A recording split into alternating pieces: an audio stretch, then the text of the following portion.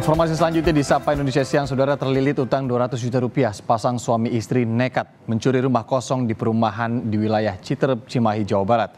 Video aksi pencurian pasutri ini bermoduskan mengantarkan paket dan disebarkan di media sosial. Dalam rekaman CCTV, pasangan suami istri langsung masuk ke dalam rumah berpura-pura mengantarkan paket. Setelah mengetahui rumah itu kosong, pelaku langsung mendobrak pintu dan mencari barang berharga milik korbannya. Peristiwa ini terjadi pada 10 September lalu dan tidak sampai 24 jam kedua pelaku langsung ditangkap polisi. Untuk mempertanggungjawabkan perbuatannya, Pak Sutri ini terancam hukuman 9 tahun penjara.